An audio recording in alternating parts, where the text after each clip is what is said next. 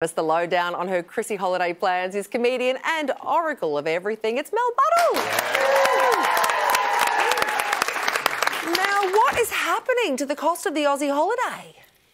A beach holiday is just getting too bloody exy. Uh, $10,000 for a house at the beach for the same price. You know what else you could buy?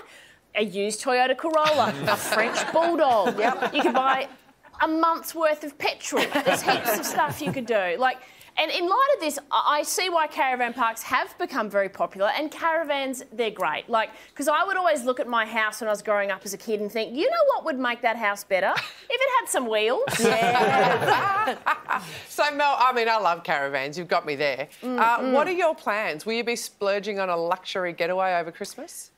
Well, after seeing the prices of these top shelf places, it's going to then be very hard to get excited for what I can afford, which is a dated two bedroom unit in a six pack of flats called Carmel Court. not included.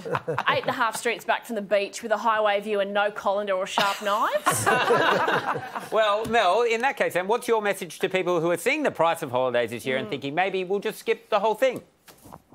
Well, who needs a holiday by the beach at all? If you've got a sprinkler, otherwise oh, known as the Queensland yes. swimming pool, yes. you're halfway there. And to make it feel like you're having a holiday at home, it's very easy. You can just do what my mum used to do every December and just add pineapple to every single meal. Curried sausages with pineapple rings? Are we in Ipswich or Honolulu? Why do you think people are choosing holiday parks over Airbnbs, though?